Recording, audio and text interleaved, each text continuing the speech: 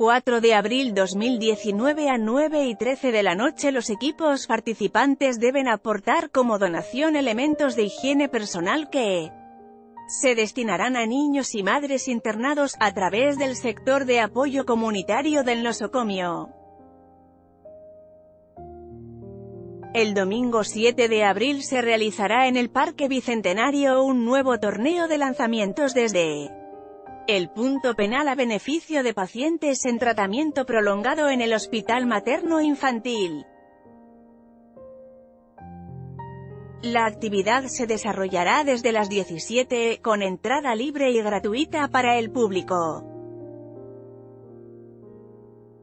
Los interesados en participar del torneo deben inscribirse llamando al teléfono 0387-155-177-914, para lo cual se les solicita el aporte de elementos como champú, crema, enjuague, toallas femeninas, protectores mamarios, pasta dental, cepillo de dientes, peine, jabón de tocador, óleo calcáreo, toallitas húmedas, pañales, ropa para bebés prematuros.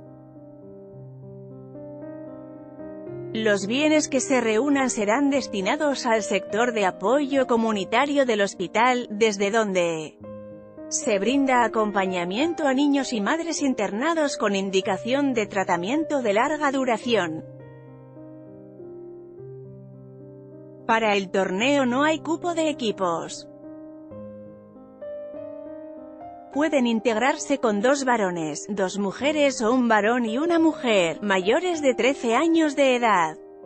Un integrante será quien ejecute los lanzamientos, mientras el otro será el arquero, aunque también un solo participante puede cumplir ambas funciones.